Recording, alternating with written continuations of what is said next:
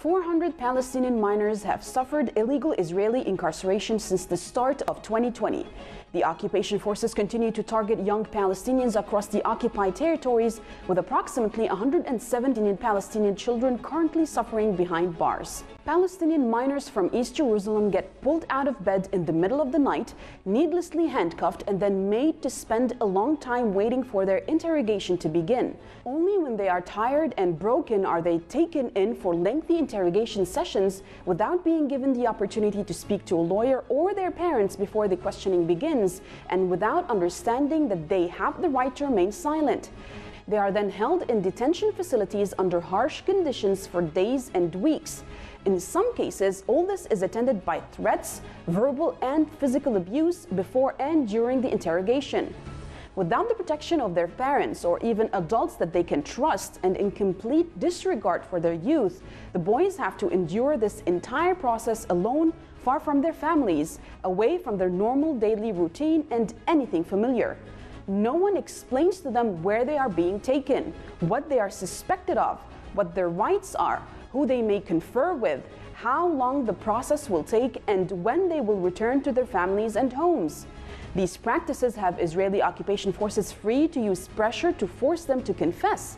And indeed, many of the detained minors sign involuntary confessions of crimes they never did, which are then used as the basis for indictments against them. All for what? Well, this aspect of life in East Jerusalem cannot be separated from Israel's overall policy in the city. All Israeli occupation forces operating in East Jerusalem follow a policy aimed at encouraging Palestinian residents to leave the city. What better way to terrorize the public than by using their own children as bait? Welcome to the Mideastream. I'm Marwa Osman.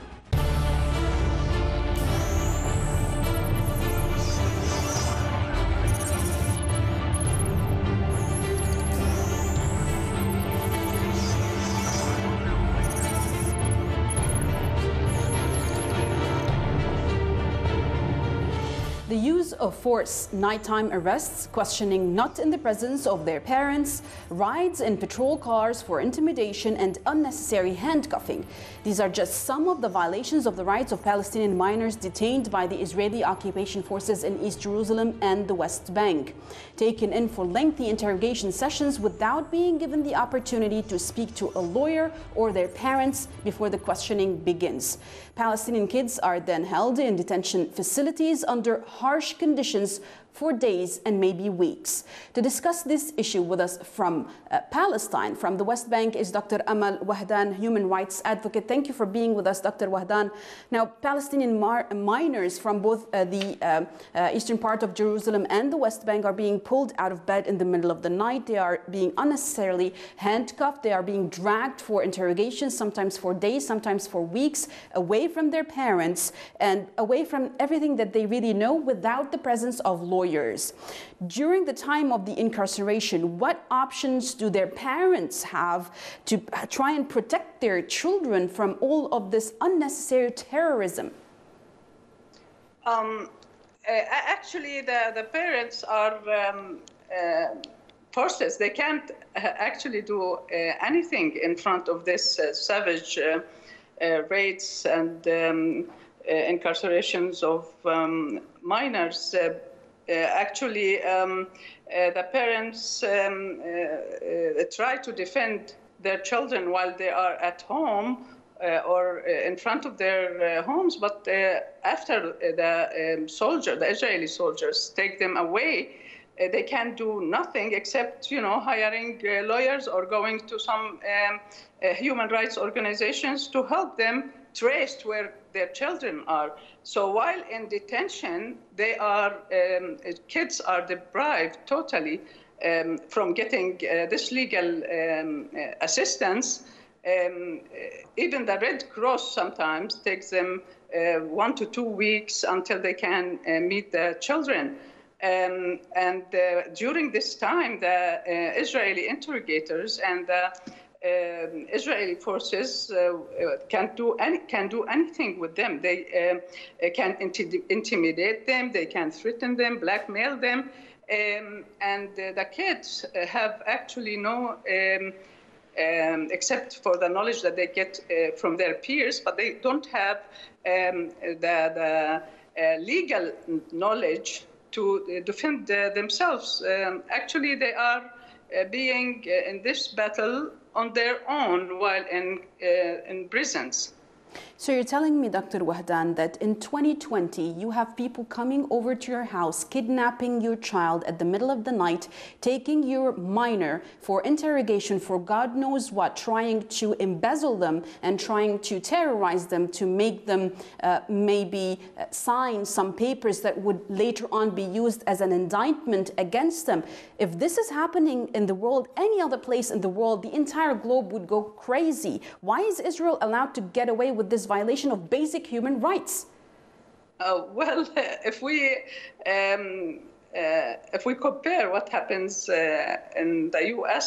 during Trump, or even before that, what happens to minors and what happens to um, minorities and um, um, you know people of uh, color, mm-hmm. Uh, and uh, how the authorities are treating them, how the police forces are treating them, we can get the picture very clear here. They have a free hand you know, the interrogators, the police forces, the soldiers here have a free hand because they have a cover up. And who is covering up uh, their, uh, um, you know, their uh, terrorizing and their criminal acts against uh, Palestinian minors, uh, women, um, uh, old people? Um, they have nothing actually um, to stop them because the U.S. is backing them up and the rest of the NATO countries, the rest of um, the allied forces, uh, which are led by the US, is defending them. The UN actually and um, uh, international human rights has piles of uh, cases uh, that um, uh, shows and um, is a, um, a, a, solid evidence mm-hmm. of um, crimes that has been committed uh, against um, minors which do not get anywhere. All these reports, all these statistics that are sitting in the, you know, in the drawers and offices of uh, the UN uh, human rights offices, um, do not get any uh, legal, um, uh, let's say, any uh, legal uh, follow-up in order to put an end to these violations of human rights and violations of uh, international law. So mm-hmm. Israel is, goes, you know, unpunished, unaccountable for all its crimes, killing uh, young, youth, um, actually keeping the bodies of uh, the martyrs of Palestinian children. Until now, we have like more than 50 um, uh, bodies of uh, children who are who have been martyred uh, in uh, 2015 and the, the, families cannot get their, uh, you know, their uh, bodies to. There are a lot of scandals them, affiliated with these cases, with a lot of them being uh, organ trafficking by the Israeli related. entity. But th these practices leave the occupation forces, as you said, free to pressure uh, to, uh, the kids, the families, and to make them confess. And indeed, at some point, some kids actually uh, sign involuntarily confessions, which are used basically they are written in a different language than that that they know, and they are obviously uh, false ones, but the kids are intimidated to do so, which are then used as a basis of indictments against these kids, which could actually lead them to be behind bars for more than 20 years, according to the age of the kid. But why bear all this cost? I mean, they're definitely paying a lot of money to do this. Why are they bearing all this cost? I mean, uh, what young kids are confessing to crimes that they have nothing to do with. What are the Israelis actually achieving by this specific act of intimidation and terrorism? Um, uh, actually, they want to terrorize and intimidate the kids so they don't throw stones. That's the major, you know, the major um, accusations that they use against these kids. Because what, what what else do they have except for throwing stones at the soldiers when they, um, you know, when they uh, barge in into their homes or into their villages or into their um, olive yard uh, fields? That's the only thing that they have. They want to defend themselves from the uh, uh assaults of these uh, soldiers or settlers. Uh, in this case, it's during this last. Um, you know, during this season of um, olive picking, um, so many people have been, um, you know, uh, documented as being targeted by settlers and by soldiers. And uh, been uprooted or burned while the people are uh, trying to uh, protect it but of course they can't do much. And confession by kids uh, at, um, during interrogations is very famous for the best like four or five decades. Mm-hmm. They try to use this to force kids because, uh, of course, uh, they want to close the case and send them to, to prison. But uh, with um, throwing stones, no, I don't think that there is any uh, any charge in the whole world uh, that puts kids behind bars for throwing uh, a stone. But of course, they fabricate allegations and accusations against against these. Uh, uh, you know, um, peaceful kids who, who are trying to defend their um, olive fields or mm-hmm. trying to defend their um, uh, fathers while they uh, the soldiers trying to arrest their fathers. So um, these um, crim- criminal acts or, or um, actually um, uh, war crimes and um, uh, crimes against humanity that uh, are committed by uh, the Israelis are um, not being accountable and not being addressed by the IC, ICC, for example. Mm-hmm because to go to, to this uh, court, you need years and years and with lots of evidence, especially with uh, martyrs, for example. We, uh, in our case, our foundation, Sheikh Hassan Foundation, has been following some cases of uh, uh martyrdom or uh, even severe um, uh, um, wounds by the Israeli soldiers, and it, it doesn't get anywhere. Mm-hmm. It stays there. It basically starts with the fact that Israel actually does no not. It starts with the fact that Israel does not even recognize the ICC for that matter, or any other uh, international community, if you will, uh, body. Which I hate that word, by the way. It's just a couple of countries in the West deciding over what happens in our region, especially in uh, occupied Palestine. I want to thank you very much, Dr. Amal Wahdan, human rights advocate, for speaking to us about the horrific uh, incidents that the young people of Palestine, the youth of Palestine, is going through because of the Israeli occupation forces. Thank you for being with us. Now, please stay tuned. Next, we will talk about Lebanon.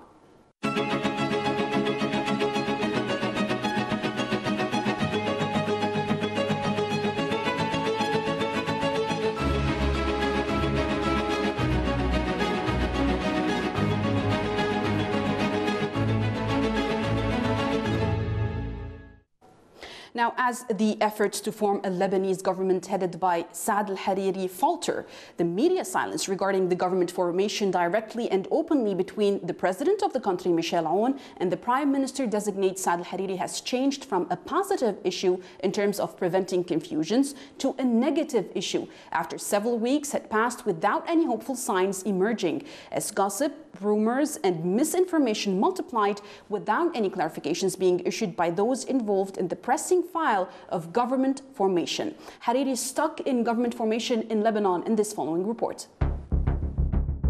Lebanon is currently experiencing a gradual deterioration towards the abyss in light of its political stalemate, financial and economic hardships, and the lack of a support program from the international community as the required reforms have not yet been achieved. November 19 last week saw a sudden increase in the dollar exchange rate, which reached 8,200 Lebanese pounds on the black market before dropping slightly.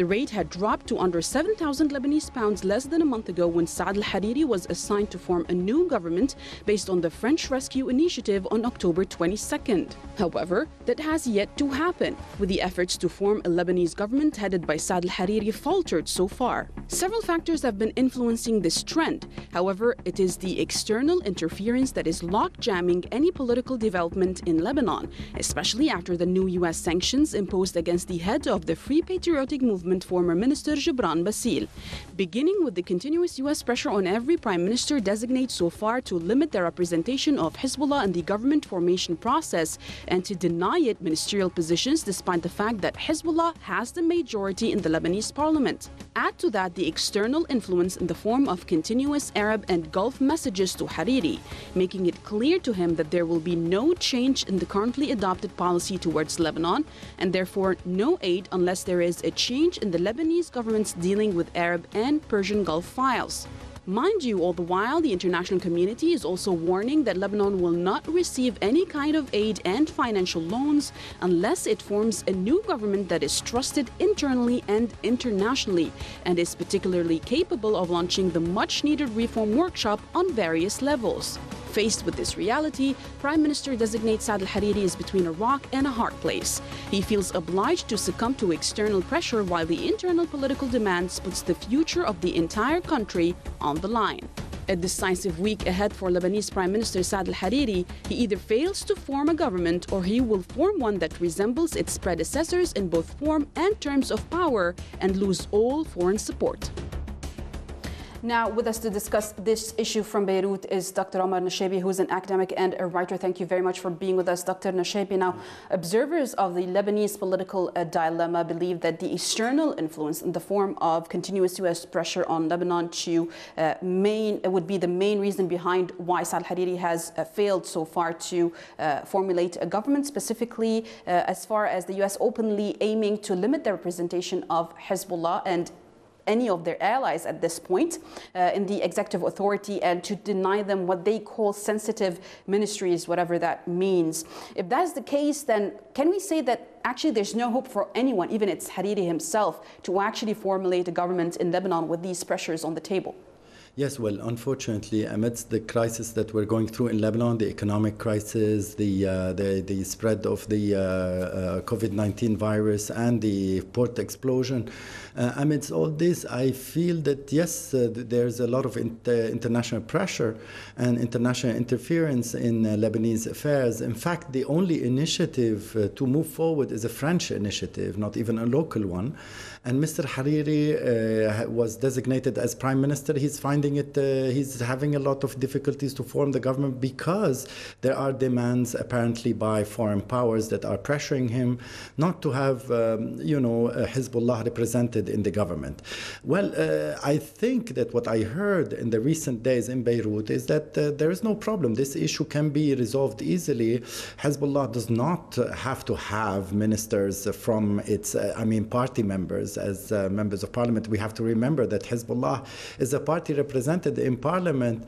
So many people who voted for Hezbollah are not necessarily Hezbollah party members. Mm-hmm. So there are many supporters of Hezbollah who are not party members and who are not directly linked to Hezbollah, and they can be represented in the government. Now, this is making it more difficult for uh, you know some Western powers that are pressuring for uh, you know to deprive any representation of anyone who supports the resistance in the government. That's mm-hmm. practically impossible. So, yes, there is a problem and there is a complicated uh, situation here. There's a lot of external pressure, and Mr. Hariri perhaps doesn't have the, uh, the, the, actual uh, power or the position to take a strong stance and uh, refuse these uh, or reject these external pressures on him, apparently. Well, Hence, well, we would add maybe more a bit to the external U.S. pressure, also to the pressure from the European countries, from the international community to be honest with you, because they keep pressuring Lebanon, telling them that you will receive no aid, no financial loans whatsoever unless there's a government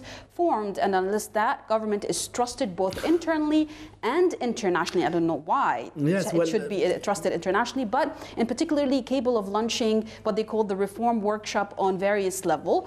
So it seems like one huge loop of inaction here. I mean, honestly, what options does Saad Hariri have at the well, moment uh, as he, the country actually is heading to a financial disaster? Yes, uh, he has one uh, main uh, uh, way to go forward if he wants to go forward or if he has the capacity to go forward, and that's a democratic process. There is a system in Lebanon, there's a constitution, and the prime minister, before forming the, the government, according to the constitution, has to do consultations with the various political groups and various coalitions in parliament and form the president based on their recommendations. Their recommendations are on the table, he knows the recommendations, and therefore he's supposed to form a government based on the constitution process. If he doesn't do that, I mean, he can actually face these uh, European and Western powers by telling them, would you like me, I mean, would you like a democratic process in Lebanon or a dictatorship? Now, Now here is the situation. He puts them on the uh, on the spot, on the spot by mm-hmm. saying, if you would like to have a democratic process, Hezbollah is a party that was uh, voted in Lebanon democratically. They, they were they were European observers. They were they were uh, they were European observers at that time when the elections True. took place. So therefore, Hezbollah is representative of the people. I mean, if you don't like Hezbollah, you have to change people's votes. So maybe you can change the uh, uh people's choices in the next elections. That's a different process. But yes, for now, they've, they've, been doing this the wrong way by yes, sanctioning know, the entire country. Spending, but let us dive you know, a bit into the major internal difficulties here that's happening between uh, certain parties and the prime minister designate, especially talking about the struggle between the future movement, uh, which is led by Prime Minister uh, designate Hariri, and the Free Patriotic Movement led by former Minister Gebran Bassil. Well, I what's, feel what's that yeah, feud about? Well, I feel part of this uh, this uh, this kind of uh, you know confrontation between uh, the the future movement and the Free Patriotic Movement is about power sharing.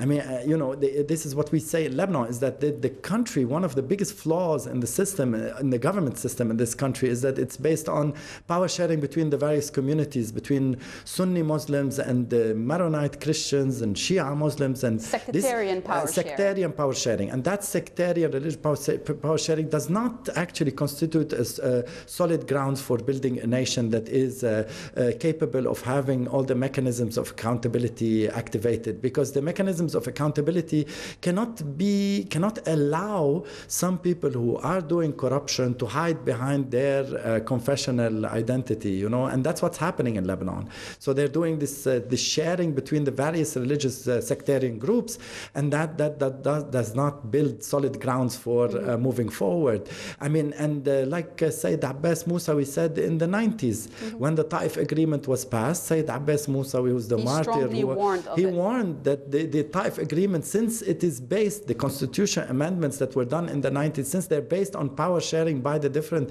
religious and sectarian group, they will actually lead to more problems and reach more disagreements between the various sec- a viable country. Group. Yes. But one also something that's interesting that we have less than two minutes here that sure. I uh, heard last week was from the UN Special Coordinator for Lebanon, uh, Jan Kubis, who lamented the absence of functioning government, uh, functioning government in the country, especially in the aftermath of the deadly uh, uh, August 4th uh, explosion, but he said that he had briefed the UN Security Council about the lack of progress in Lebanon. I mean, hold on a second. What does he mean? I mean, first of all, yes. in what position is he to start giving such reports to the UNSC? That's one. And number two, is he basically signaling for a possible more role for the UN by the UNIFIL that are on the ground in Lebanon? That's very dangerous. I, I don't think so. I think that maybe what we would like him to uh, to talk uh, to be uh, meaning. I hope that he means the Security Council Resolution 242, 339, 194.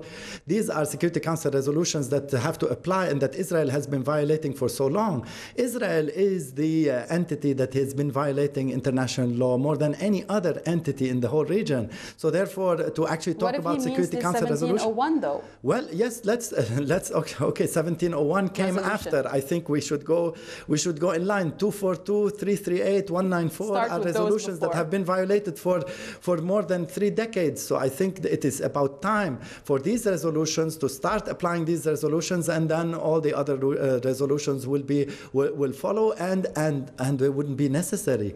Actually, I have to say something at the end: is that, that there wouldn't be any armed resistance if there was no occupation, uh, occupation. and aggression. Exactly. We still so are not being able to implement the 425 resolution up until 425 was applied by the force of the resistance exactly, according to exactly. chapter 7 uh, chapter 7 right fully, to resist if I may. we still have uh, countries the, the uh, countryside yes. villages that are still occupied i want to thank you very much for thank this you. very very uh, uh, uplifting first of all conversation with you dr Omar Nashabi and uh, hopeful for an upcoming government if it might be happening in Beirut to try and salvage what's left of the economy and the financial institutions in the country thank you very much for being with us and please stay tuned next week for more from the Mideastream you.